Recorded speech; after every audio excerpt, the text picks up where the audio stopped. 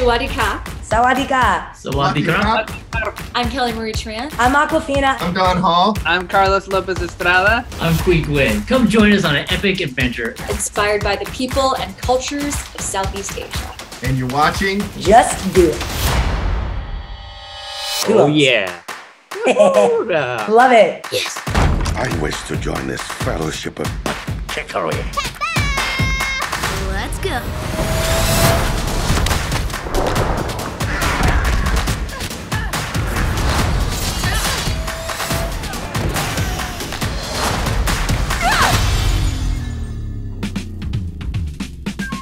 Sawadee Hey guys. Hi. Hi. Hi. How are you? Hi. Yeah. Uh-huh. I am Jerry from Thailand, a YouTuber from a channel called Just Do It. I gotta say, man, I watched the film last night and it is incredible, man. The way you guys put together and visualize Southeast Asian cultures, also my culture, is so stunning and Thank cin- cinematic, you know, very cinematic. The very climax of the film is like, whoa, it made me cry twice. I mean, It makes, Why? it makes us cry. Yeah. yeah, it's visually stunning, heartwarming, and also deeply relevant to the world we're living in right now. But most importantly, you nailed it, as Raya. You nailed it. You nailed oh it. my gosh. Thank you so much for saying that. Yeah, this movie means a lot to me for all of the reasons that you said. Uh, it feels really relevant to the world that we're living in, and to see all of the specificity that went into making this movie in order to authentically represent that part of the world, that means so much to me. Being part of a family that's from Southeast Asia. We're going to share a meal with them. Wait, what? But then also like all of the fun parts and the humor and, and the food and the silly parts of it. This movie is just, I feel like it has something for everyone and it means a lot to me that you liked it because uh, I love everyone who worked on it. So Impressive. We could use someone like you. And I heard the crew made a, a large portion of the film from home too, right? hmm That's correct. Absolutely, yeah. About for, you know for the last uh, you know about mid March the last year um, is when we all uh, went home and brought our computers with us and uh, and basically did 95 to, to 99 percent of the production was done at home, Whoa. including including the the vocal recordings. Oh, that is challenging, I must say. Mhm. Yep. Okay, we need to keep going. I know you've been asked this question millions of times, but how does it feel like being the first Southeast Asian Disney princess? ah, it feels crazy. yeah, it, it's weird because I know that it's, I know that it's happening, but I, I feel like I still don't really believe it's happening, and that's a very strange thing to say, but it's just true. It's just it feels so much bigger than me. The the lore behind it, and and sort of like being part of this legendary establishment. It feels like a big honor and a big responsibility and a big deal.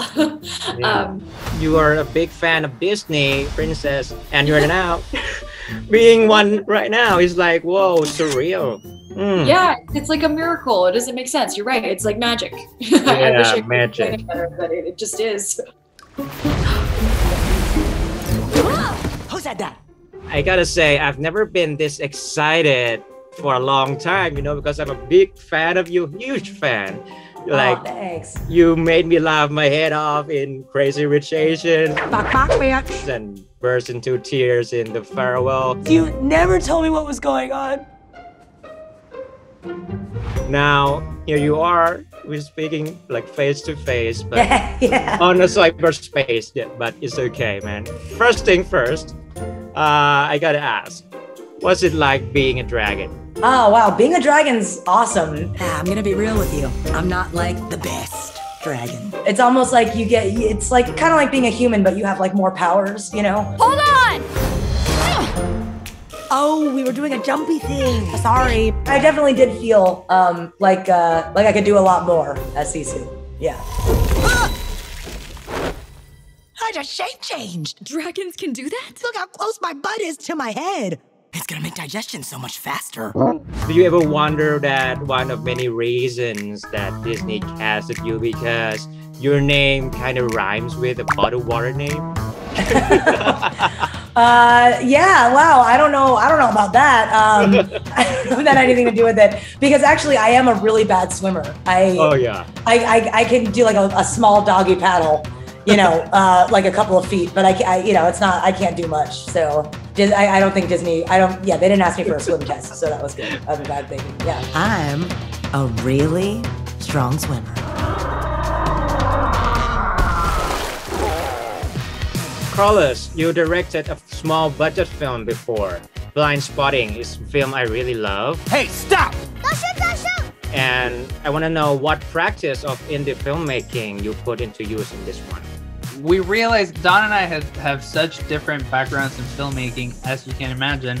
But we realized early on when, when we started working on Raya that we, we had so many similarities in the way we think about stories and the things that excite us in our inspiration. Qui as well, he has a very specific, uh, very different background from both of us. Uh, we found out that, that we really were speaking the same language. And even though uh, uh, the the tools that we've had for making movies and the scale of the movies that we had made uh, were as different as could be. Also because Raya is so cinematic, the look of it is is is really really feels in many ways like a live action movie, in many ways animated, but. The camera moves, the editing choices that we made, the style choices, the music choices that we made, it, it we were really thinking about it almost as, as a live action movie and i think that is what that clashing of worlds is what makes it feel uh, so interesting and so different i think My daughter, I believe our people can come together again. But someone has to take the first step. One last question for Qui. Okay, this is your first film and also an animated film that is based on your culture, which has never been done before in Hollywood. Is it a smooth sailing or like getting a blood out of a stone? no, it, it was actually, uh, I would say, pretty smooth sailing. I give a lot of that credit to Don. Like uh, being the veteran in, in this, he really kind of walked uh, Carlos and I through this process. And, and I mean, it definitely was our imaginations kind of Voltroning together to create this movie, but it was definitely his leadership, his uh, mentorship that really allowed us to be able to, to, to get through this as well as we did and, and have, um, you know, make the movie. Let's catch you up.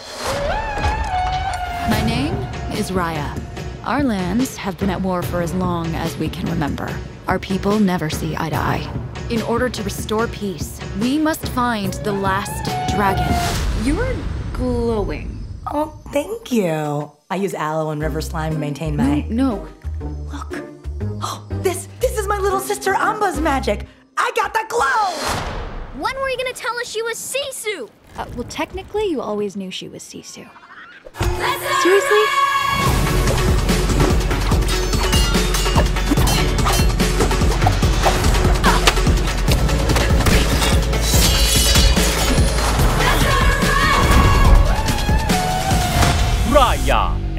Last Dragon รายา กับมังกรตัวสุดท้าย วันนี้ในโรงภาพยนตร์ ก่อนจากกันไป บอกพวกเราหน่อยครับว่า คุณคิดอย่างไรกับรายา and the Last Dragon ถ้าคุณชอบคลิปสัมภาษณ์คนทำหนัง ก็อย่าลืมกดซับกดแชร์ กดไลค์ และกดปุ่มกระดิ่งแจ้งเตือนเอาไว้ เพื่อไม่พลาดหลากคอนเทนต์สุด Exclusive เจาะลึกถึงหนังกว่าใคร ที่เดียวที่ จอดอ just do it พิมพ์ just และอิดภาษาอังกฤษ ส่วนดู ภาษาไทย